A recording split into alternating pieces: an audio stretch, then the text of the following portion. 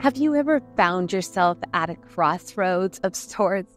So many ways that you can go, and you just wish you had someone who saw the bigger picture and could tell you what to do. Well, as Christians, you guys, that's exactly what we have in the Holy Spirit. But what does that look like? And how do we even begin to hear God's voice? Well, I've got eight different ways that the Holy Spirit's helped me discern what He wants to speak to my heart, and I hope they help you. Well, first of all, I think it's important to acknowledge that I have never heard the audible voice of God. I wish I could say I have, but it has been more subtle than that. In fact, as a young pastor's wife, I remember getting really offended when people would say, God said this or God told me that. And I think, who do you think you are? He's never spoken to me. But what I didn't understand is that God had been speaking to me. Jesus said that if we belong to Him, His sheep hear His voice. But for me, that didn't happen overnight. Instead, it's been an ongoing process. And the first thing that I think we need to do is to ask God for wisdom and then expect that He's going to answer. This part is so important because I think that the enemy of our soul wants to convince us that we've got to figure out Christianity on our own. That, you know, once we were saved, the rest is really up to us.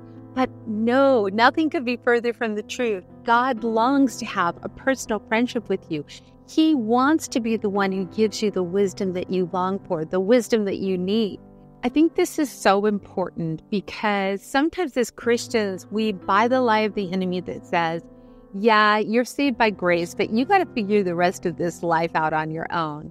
But Jesus said, Listen, guys, I've got to go away so that the Spirit can come. And when He comes, He's going to lead and guide you into all truth. This Holy Spirit of God comes and dwells within us. And if we'll quiet our souls, if we'll ask for wisdom and expect it, he promises to give it because here's the deal the Holy Spirit has the bird's eye view of our life. He sees the past and the future, He sees the present. He knows all of the things that are going on, and He sees clearly the way we should go. So, why would we ever want to do it on our own? The next thing we need to do is tune our hearts to God's voice you know, I really wish, I really wish that there was like a Google map, spiritually speaking, that you could just type in your question and there would come clear instructions as to which way you should go. But that's exactly why the Holy Spirit came to lead and guide us. But we've got to understand a couple of things. First of all, his voice is not discerned naturally, it's spiritual. And so that means we're going to have to tune out some of the noise in order to hear him.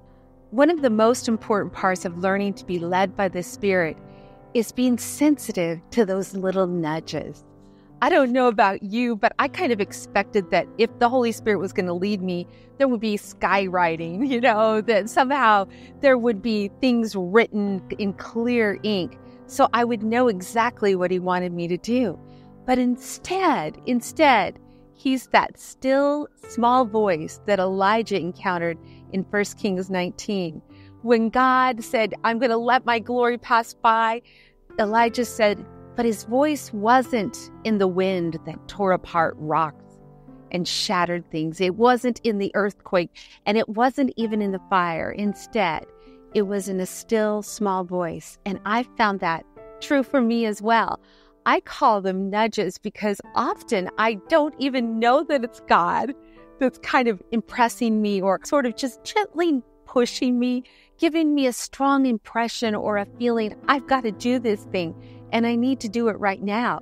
You know, when I follow the impression or the nudge, it's not usually until afterwards that I can say, that was God after all. But in the training of, of responding to those gentle nudges, I'm learning to discern and recognize God's voice when He speaks. Well, number four, my mama always said, mind the checks. What are checks, you ask? Well, it's that sense that something's just not right. That that even though I felt like I had clear direction for whatever reason, God's saying, mm, not yet. Maybe it's wait a while. Maybe it's no, don't do it. Don't do it. But what I found is that checks are usually they're usually designated by a lack of peace. I might have had peace at the time of the decision, but as as the days go by, there's just kind of a turmoil. There's a second guessing. And I have to be careful because I tend to second guess myself a lot. And so I even have to weigh that. Is this a check from the spirit or is this just a check from my flesh who's just too chicken to try something new? I found that when direction is from God, it usually strengthens over time. Where conversely, when maybe it really isn't God's idea but mine, well, the leading just gets a little vague. It actually lessens over time. And so, in some things, I've learned to just sort of sit with what I've sensed God saying to really find out if it's Him or just an idea I had on my own. Another important aspect of being led by the Spirit is number five test the message. Does it line up with Scripture? Listen, I might have a really strong impression that God wants me to do something, but if it goes against His word, then I really need to set it aside. Uh, because I'll tell you what, impressions on their own can lead us into great error.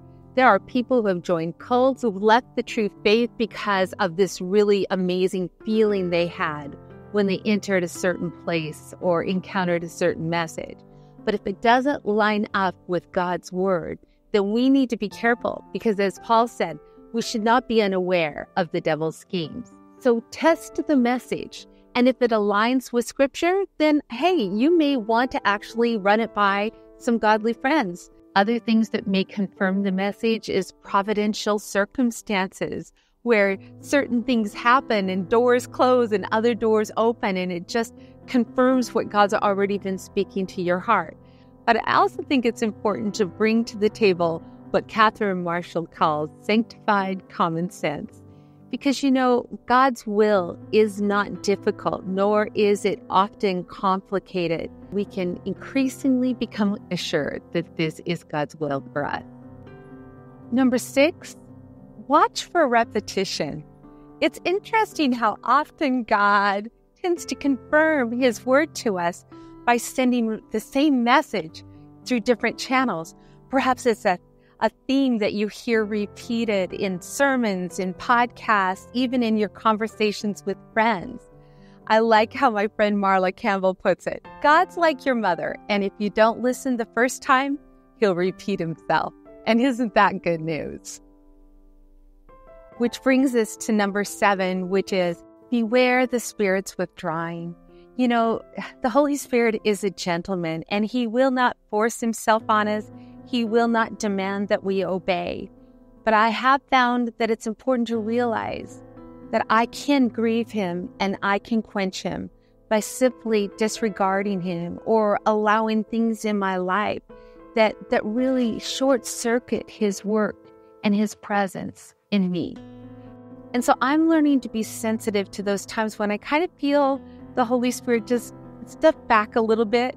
Maybe that that sense of anointing that was on something kind of begins to lessen and I I have to stop and ask, Lord, is there something that I've done that has grieved you? Is there an attitude that I've allowed? Is there um, some shortcuts that I'm taking that are displeasing you? Because there's nothing more precious to me than God's presence. And so, along with David, I find myself praying, Oh Lord, take not thy spirit from me.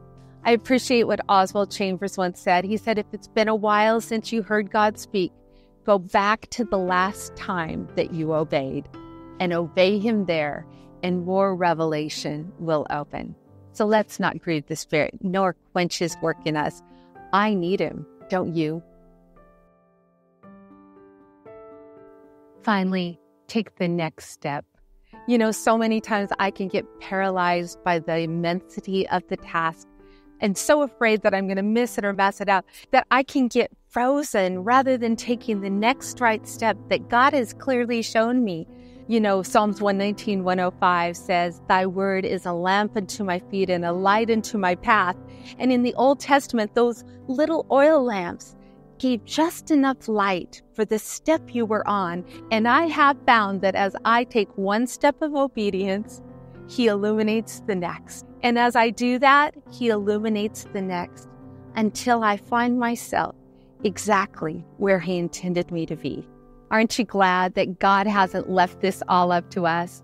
Instead, He's given us the Holy Spirit to lead us. If we'll just cultivate a sensitivity to His voice and a willingness to obey His instruction, He will get us where we need to go. All we have to do is be willing to be led. God bless you, my friend.